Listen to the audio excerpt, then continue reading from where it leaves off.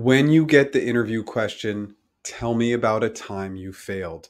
Specifically, answer this question instead. Tell me about a time you failed and the steps you took to fix the problem, improve things, etc. This is the only way you should be answering the failure question because otherwise, you're simply telling your interviewer a story about your failure. And this does not lead to a positive impression of you. So, quickly highlight what went wrong, think 30 to 40 seconds, then talk through all the steps you took to address that failure and the awesome results because of it. Trust me, this will land much better. I strongly encourage you to try this approach. So let's dive right into what a sample answer might look like. And as always, let's imagine our fake interviewer is Sue, and Sue asks us this question Jeff, tell me about a time you failed. Sue, this is an example from my time as a software engineer at Health Tech, a leader in healthcare software.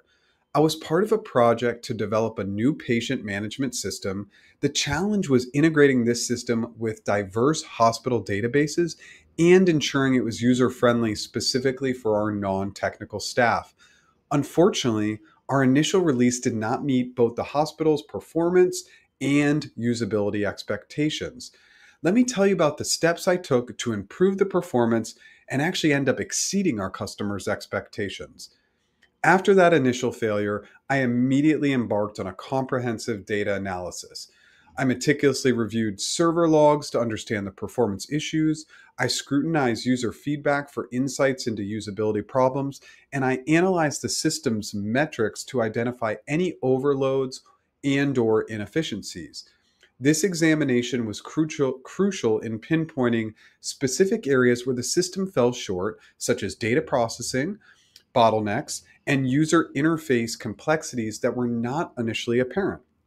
Then, based on the insights gained from the data analysis, I restructured our development strategy.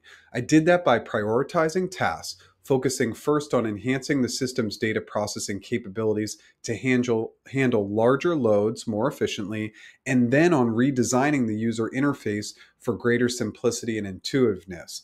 And then this revised plan was broken into smaller, achievable goals with new mini deadlines, ensuring a focused and manageable approach to addressing all of the system's shortcomings. Then I recognize the importance of stakeholder feedback. I initiated a series of in depth discussions with the hospital staff. These meetings were designed to gather detailed, firsthand accounts of their experiences with the system, focusing in on specific issues they encountered in their daily operations. And this direct engagement not only provided invaluable insights into practical usability issues, but it also started to help build re- rebuild that trust and demonstrate our commitment to delivering a system that truly met their needs. Then we adopted a rapid iterative development approach focusing in on continuous improvement. Each integration involved implementing changes, releasing updates to a controlled user group, and collecting immediate feedback. This cycle was repeated multiple times, allowing us to incrementally refine the system. And this process wasn't just about fixing bugs. It was a proactive approach to evolve the system based on real user experiences. So we ensured that each update brought us closer to the solution that was both robust and user friendly. And to foster strong ongoing relationships with the hospital staff, I ensured consistent and transparent communication throughout the redevelopment process.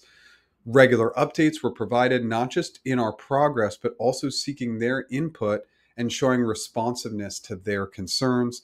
This continuous dialogue helped us maintain this collaborative atmosphere, reassuring that the stakeholders were really able to see that fine tuning of the system and that we that fine tuning of the system was really aligned with their needs. And the results were this awesome and comprehensive approach taken after that initial failure led to significant improvements in the system. We achieved a 50% increase in handling data efficiency, and we also just had a noticeable overall improvement in the user interface simplicity. And this led to a lot of positive feedback from the hospital staff, Lastly, this experience not only improved this specific project, but it also had a lasting impact on our team's approach to software development. emphasizing the importance of a user centric design, iterative testing, and stakeholder engagement. So, what is the difference between this example and just talking about how you failed? I now have a clear understanding and picture of how you handle and overcome significant challenges. And now I can picture you as the candidate taking a positive and proactive approach to handling issues when they arise on the job that I'm considering you for. I cannot emphasize this enough. This simple change will be so impactful for you as a candidate. I strongly recommend that you try this approach in your next interview and let us know how it went in the comments. Good luck.